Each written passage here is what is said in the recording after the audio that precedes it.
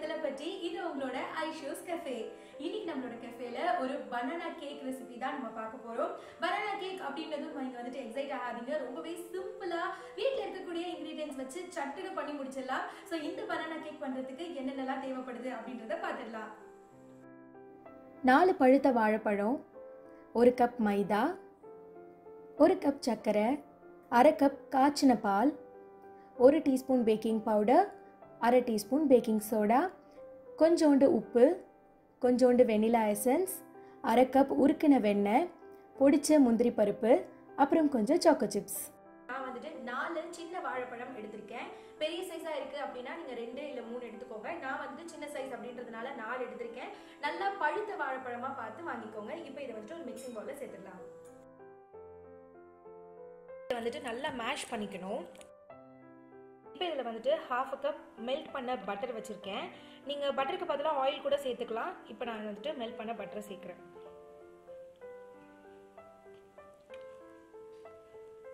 இப்போ நான் வந்துட்டு ஹாஃப் அ கப் மில்க் வச்சிருக்கேன். இது காய்ச்சி ஆற வச்ச பால். நீங்கள் ஒருவேளை பால் இல்லை நீங்கள் எக் எடுத்துப்பீங்க அப்படின்னா ஒரு எக் சேர்த்துக்கோங்க. இப்போ நான் இதில் பால் தான் சேர்க்க போகிறேன் இப்போ பால் போட்டு நல்லா மிக்ஸ் ஆனதுக்கப்புறமா ஒரு பவுல் நான் சுகர் வச்சுருக்கேன். இந்த சுகர் இதில் ஆட் பண்ணிக்கலாம்.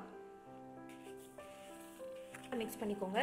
ஓகே இப்போ சுகர் நல்லா வந்துட்டு இதில் மெல்ட் ஆகிடுச்சு நீங்கள் பார்த்தாலே தெரியும். நல்லா கரைஞ்சதுக்கப்புறமா இந்த பவுடர் திங்ஸ்லாம் இதில் சேர்த்துக்கலாம். ஃபர்ஸ்ட் வந்துட்டு நான் இதில் உப்பு ஆட் பண்ணுறேன் ஒரு குவார்ட்டர் ஸ்பூன் சால்ட் சேர்த்தா போதும்.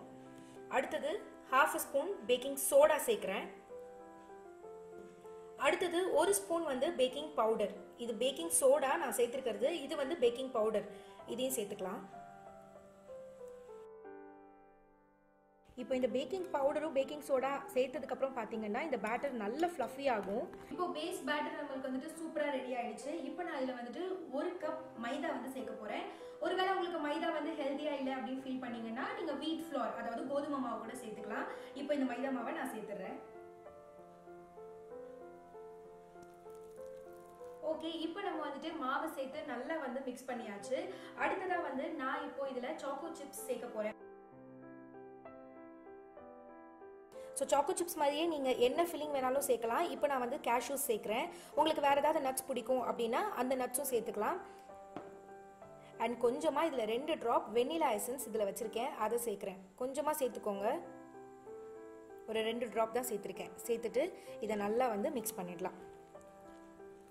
இப்போ பார்த்தீங்க அப்படின்னா உங்களோட டெக்ஸ்டர் தெரிஞ்சுக்கிறதுக்கு இப்படி மிக்ஸ் பண்ணீங்க அப்படின்னா இப்படி ஒட்டாமல் வரும் பேட்டர் இப்படி ஒட்டாமல் வந்தது அப்படின்னா உங்களோட பேட்டர் கரெக்ட் டெக்ஸ்டரில் இருக்குது அப்படின்னு அர்த்தம். இப்போ நம்மளோட மிக்ஸ் வந்துட்டு பேக் பண்ணுறதுக்கு ரெடியாக இருக்கு.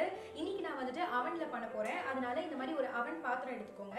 அதில் வந்துட்டு எண்ணெயோ இல்லை பட்டரோ இல்லை கீயோ ஏதோ ஒன்று வச்சு உள்ளே ஃபுல்லாக க்ரீஸ் பண்ணிக்கோங்க. அப்போ தான் வந்துட்டு கேக் எடுக்கும் போது ரொம்ப ஈஸியாக வந்து வெளியில் வந்துடும் ஸோ இப்போ அவனில் வைக்கிறதுக்கு அவனை த்ரீ ஃபிஃப்டி டிகிரி செல்சியஸில் ப்ரீ ஹீட் பண்ணிக்கோங்க. டென் மினிட்ஸ் ப்ரீ ஹீட் பண்ணுங்க பண்ணதுக்கப்புறமா இதை உள்ளே வச்சு நீங்கள் பேக் பண்ணி எடுத்துடலாம். டுவெண்ட்டி மினிட்ஸ் வச்சிங்கன்னா போதும். சூப்பராக நம்மளோட பனானா கேக் ரெடி ஆகிடும் நம்ம மிக்ஸ் பண்ணி வச்சிருக்கிற இந்த பேட்டரை சேர்த்துக்கலாம்.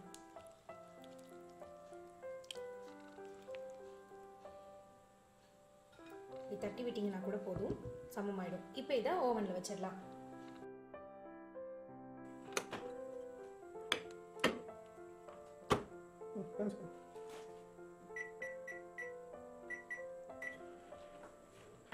அவனில் குக்கரில் பண்ணணும் அப்படின்னு நினச்சிங்கன்னா வெரி சிம்பிள் அந்த மெத்தடையும் நான் சொல்கிறேன் இதே மாதிரி ஏதாவது ஒரு பாத்திரம் அந்த மாதிரி கீழே சமமாக இருக்கிற மாதிரி எடுத்துக்கோங்க. ஒரு டிஃபன் பாக்ஸ் கூட எடுத்துக்கோங்க.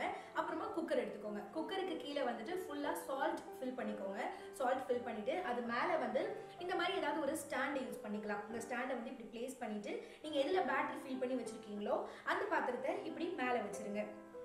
ஒருவேளை இந்த மாதிரி ஸ்டாண்ட் இல்லை அப்படின்னா வேற ஏதாவது ஒரு தட்டோ இல்லை டிஃபன் பாக்ஸோ கூட அடியில் கவுத்து வச்சுட்டு நீங்கள் எதில் பேட்டர் ஃபில் பண்ணியிருக்கீங்களோ அதை இப்படி பிளேஸ் பண்ணி ஃபார்ட்டி மினிட்ஸ் வேக வச்சு எடுத்தீங்கன்னா சூப்பராக பனானா கேக் ரெடி ஆகிடும்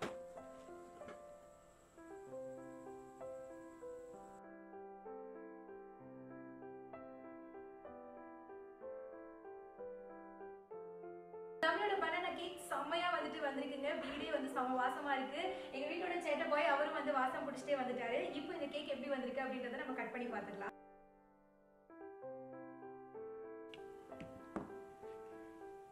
அவ்வளவுதான் கேக் ரெடி செம்ம சாஃப்டா இருக்குங்க. செம்மையா இருக்கு கேக்கு அவரும் கேக்காக தான் வெயிட் பண்றாரு.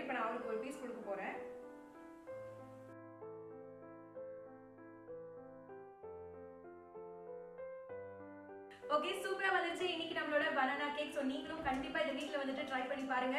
அண்ட் ட்ரை பண்ணி எப்படி இருந்தது அப்படின்றத எங்க கூட கமெண்ட் பாக்ஸ்ல மறக்காம ஷேர் பண்ணிக்கோங்க. அண்ட் உங்களுக்கு இந்த ரெசிபியில ஏதாவது டவுட் இருக்கு அப்படின்னா கமெண்ட் பாக்ஸ்ல போடுங்க. நான் உங்களுக்கு வந்துட்டு அதை கிளாரிஃபை பண்றேன். ஓகே இதே மாதிரி சூப்பரான ரெசிபிஸ்லாம் நம்மளோட சேனல்ல காத்துட்டே இருக்கு. அதெல்லாம் நீங்க தெரிஞ்சுக்கணும் அப்படின்னு நினைச்சீங்கன்னா நம்மளோட வெத்தல்பட்டி சேனலை உடனே சப்ஸ்கிரைப் பண்ணுங்க.